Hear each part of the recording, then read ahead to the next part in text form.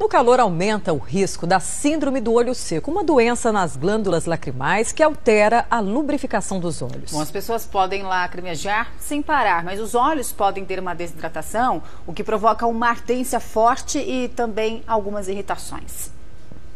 No início, eram sintomas leves. Uma ardência nos olhos, como se tivesse caído protetor solar. Em pouco tempo, virou um problema constante. Quando começou a lacrimejar. Lacrimejava, no início era pouco, depois foi aumentando, que parecia que eu estava chorando. No oftalmologista, a Daniela descobriu que o mau funcionamento de uma glândula era o motivo do problema. A doença do olho seco, que também aparece de outras formas.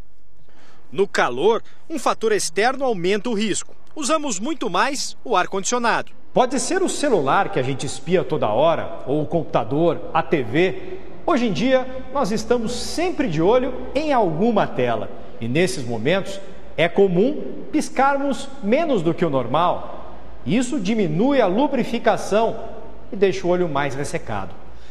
Exames identificam as causas do olho seco e o tratamento tradicional é com colírios.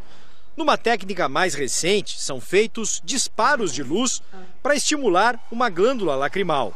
Para evitar o problema, é importante se cuidar. Não ficar tanto a cada 50 minutos frente a uma tela, dar um descanso, a distância que às vezes você está, não ter um ar-condicionado direto eh, eh, direcionando o ar para os seus olhos. São atitudes eh, que corroboram para minorar os sintomas do olho seco.